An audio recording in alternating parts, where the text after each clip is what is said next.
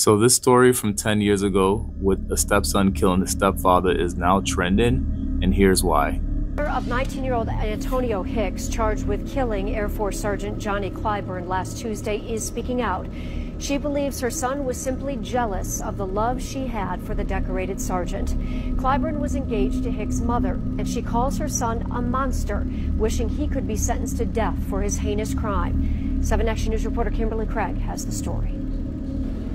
It's hard to imagine any mother wishing her own son could get the death penalty, but Nicolina Pace says not many mothers have seen what she has witnessed. To me, he's a monster. You were smart enough not to shoot yourself like that. You knew exactly what you were doing. Nicolina Pace is talking about her 19-year-old son, Antonio Hicks, who allegedly shot the man she was so eager to marry, her soulmate, Air Force Sergeant Johnny Clyburn. I think the devil was in Antonio, and I think he was jealous. I think he was jealous that he had to leave because he knew he had to leave. We were planning a wedding. We didn't want you here. He knew he had to leave. And John was not going to take care of a grown man that couldn't even that wasn't even trying to help himself. Nicolina says her fiance was her everything, their love like a fairy tale. And she says all John ever tried to do was help her son, who was never diagnosed with a mental condition. But she and John thought the 19 year old had some sort of problem. And John tried to help him get on Social Security. But Nicolina says her son never followed through. And he resented that he was going to have to move to Florida to live with his father. If he does have schizophrenia, schizophrenia and mental illness, he gives those people a bad name. I don't even believe he has that. I just think he has the devil in him. The day after Memorial Day, when Sergeant Clyburn got home from work, he was in the basement cleaning up something Antonio broke. And so John turned around to see what Antonio want. That's when Antonio shot him. Nicolina says she started hitting Antonio. He left the basement, but then came back. What do you think made him come back downstairs? Because I think he still thought John was alive. And Nicolina does not waver when she says she wishes her son could get the death penalty. Like a petition or something where he can get the death penalty and we can make an example out of him. And I would be the first person to put my signature at the top. I don't think he deserves to be here. He knew how in love we were. So why destroy it? It's like he think he, he walked away with some. Look what I took from you. He wanted to do this. I believe it was purposely done. I believe he thought about it. It was probably premeditated. And to anyone who has ever loved John, Nicolina says she is sorry for what her son has done. Stories like this are exactly why most men won't be stepfathers because they don't want to deal with any crazy son husbands. In this situation, there was a crazy son husband dynamic going on here, but a lot of people gave their thoughts on this situation from 10 years ago and it seems like most people are not happy with mom. I'll, I'll give you a few examples. Let's talk about Antonio Hicks because honestly, my heart really and truly goes out to this young man, and I really hope that he can find peace and he could begin to heal. Because this wasn't the actions of mental health, this was the actions of 19 years of being unloved, 19 years of being hurt, emotional abuse, and his mother constantly picking different men over him a lot of you parents out here, y'all have children that is men, and because for whatever reason it does not work, y'all forget about y'all children, y'all take it out on y'all children, and y'all emotionally, mentally, and physically abuse them because they somehow resemble the men that you chose to lay down and have a kid by.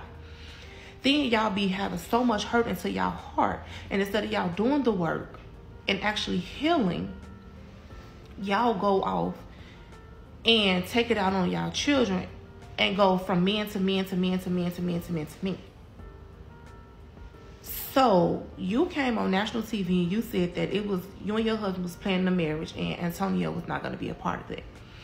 First of all, I'm not having a wedding if my children are not a part of it. That's just that. You thought that when you and your husband said I do, that your parental rights automatically just terminate and that you were going to go send him somewhere he didn't want to be at and you and your husband was gonna go to the moon and live and be happily ever after. That's not how that works, Miss Ma'am. That's not how it works. Then you come on national TV and say that your son, if they do a petition to have him unalive, your name's gonna be the first one on here. On there, you hate that young man that much? You hate him that much? I don't give a fuck what my son did. I'm not giving nobody the satisfaction to unalive my child. I can only imagine what you said and did to this young man behind closed doors because you came on national TV and you said so in so many words that you really hate this boy. So I can only imagine the emotional, verbally abuse that you have given him. And then your husband, I doubt that he didn't play a part. I know he played a part in it too because you sat there and you allowed this woman to say that, oh, she's going to go ahead and just give her son off and stop being a mother once y'all get married. You played a part in it too because I doubt that he just took it out on him just to be taking it out on him. Y'all both played a part. But it was unfortunate that you had to lose your life because of your woman. And I'm not making it right, but let's hear speak facts. Let's speak facts. If he deserves to die, she do too. So she need to be right there on the side of there with him. So a couple of things we need to consider about this case. This kid at the time in 2014 was 19. I understand that your mind is still developing until you're 25, scientifically they say, for males. However, he is old enough to know that murder is bad.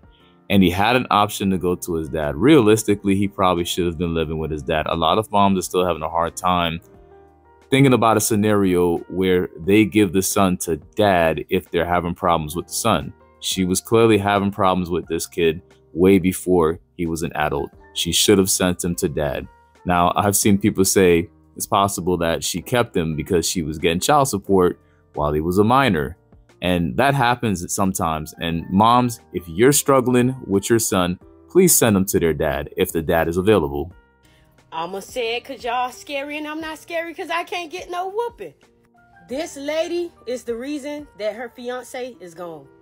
This lady is not only the perfect example, but she's the definition of a pick me mom. I see y'all already making y'all videos. Mental health is real. Mental health is real. So is child neglect. That lady has been picking men over that boy for 19 years, and I'm gonna tell y'all how I know. If y'all listen to her in that interview, she said he was smart enough to know not to pull a gun on himself. She went on to say, if y'all start a petition to give him the chair, I will be the first person to sign it. That lady literally sat on that interview and wished death on her child. That didn't start with this fiance. It was with the man before him, and the man before that, and the man before that, and that boy snapped. That lady said on that news and said we, her and her man, didn't want him here. And now she want to pull a mental health card on us. I hate when people do that because I am also the child of a pick me parent. Y'all always try to play the mental health card when literally that takes a toll on a person. How can I sit here for 19 years and watch the person that's supposed to love me unconditionally love men back and forth because it didn't just start with that fiance, I'm telling y'all, and not love me that way. Think about it. As a parent, there's no way I can tell y'all to give my child a chair in the same breath I just told y'all he got mental health issues. Make that make sense. Know that when I say this, I am speaking from the heart, baby. As one who was blessed and honored enough to be a vessel of bringing in what is now a teenage boy into this world, I don't give a damn if my boy take the president out. I would never, ever, ever give the world a satisfaction of crucifying my kid. You know why? Because I love my jit without condition. And that's something that she has never displayed to that boy. And he snapped. Now, I'm not saying that it's right. Rest in peace to the person that lost his life. I'm not saying that it's right. What I'm saying is let's get down to the root of the problem. That bitch the problem. All right, so I get that we want to call people pick me because that's like the new thing to do. Like if a woman wants to have a man, it's now she's a pick me all the time. Well, let's not call this lady a pick me at the end of the day, you could probably say she's a bad mother. That's fine. That's really what realistically went on there. We don't need to call her pick me. But this kid was 19. He was old enough to know right from wrong, way he passed old enough. If he was a minor, I would get blaming the mom in this situation, but the damage is already done. You are 19 at the time, sir, so you need to do what's best for you, which would have been to move in with his dad not to unalive his stepdad. That that doesn't make sense. So he's obviously a psychopath because normal people don't do what he did, regardless of what your mom did to you. You say to yourself, you know what, I'm gonna move on with my life. I don't have to talk to these people ever again, and then that's it. Oh no, pick me is 100% a trend. It's actually used to slander women who are married and women who advocate for men. It's it's definitely an overused term this year and last year. A lot of people have just been calling everybody a pick me. If you're a woman that is agreeable, you're a pick me. Like like pick me is definitely something that's overused. In this situation, I'm not saying that she's not a pick me, but that's not the main issue. The main issue is that she's a bad mom. So if you're sending your son to his dad at 19, why didn't you send him to his dad at 14? Because her troubles didn't start when he became 19. He obviously been doing crazy stuff before he was 19. The only thing I can think about, considering you know the way she speaks about her son, is it's possible that she kept her son for child support. So if you're a mom who's doing that, in some situations, if the if the kid is bad, you're gonna have to give that child support up and send them to their dad. You're doing it at 19, so that tells me that you probably could have done it at 14, and it probably should have been done, done because most of us agree that she doesn't love her son. So if she doesn't love her son, maybe the dad does. So maybe his outcome is different if he goes to live with his dad. Maybe he's not in jail like he is now, or should I say prison, because he's serving 10 plus years. This is it's been over 10 years since he committed this uh unaliving. And so that's the biggest problem that I'm having with even some of the other people who are making stitches to that original video. It's like, oh, how could a mom want to send away her son? I'm like, this man is 19. That's her adult child. I mean, he's a baby boy mixed with Dexter because, you know, you don't, normal people don't do what he did. They'll just say, hey, I'm out of here. I'm, I'm going to go live with my dad. And people say, well, he probably had trauma from mom. And that's true. And that's why I think she should have shipped him up earlier. He should have been out of that house before he was 19. You don't wait till the child support's done and then try to send them to dad. Send those kids to dad early. If you're a single mom with a son and a dad in the picture, and your son starts to, you know, do crazy psychotic things and he's throwing things all over the place, and you know, you have a new husband, maybe he's not he's not his dad. Send him to his dad. Stop holding on to these damn kids that you don't even like for child support because I'm pretty sure that's what's going on in her in what went on in her situation because just for the, the, the way that she really hates her son.